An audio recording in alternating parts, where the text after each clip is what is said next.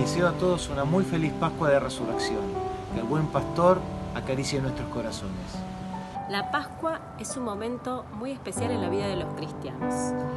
Es un periodo en el que nuestra fe se ve interpelada. Por eso los invito a rezar con un corazón abierto y humilde para dejar que Jesús resucitado nos hable.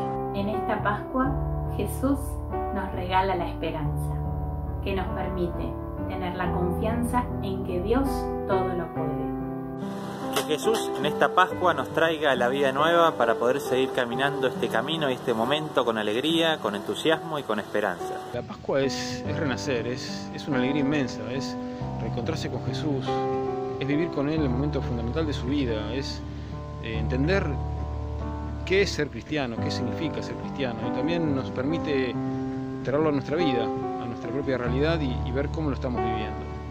Felices Pascuas para todos y un pensamiento que surge a partir de algo que les decía con respecto a la, a la paciencia, ¿no?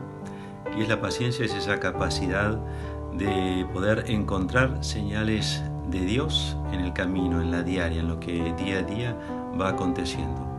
Pido para todos nosotros poder tener esa mirada ¿no? paciente para poder descubrir en esta Pascua aquellas cosas que Dios nos está mostrando y que realmente podamos verlas y descubrirlas. Este año la Pascua es un desafío especial, pero no es especial solamente porque no vamos a poder compartir las celebraciones en comunidad o porque no vamos a poder salir de casa.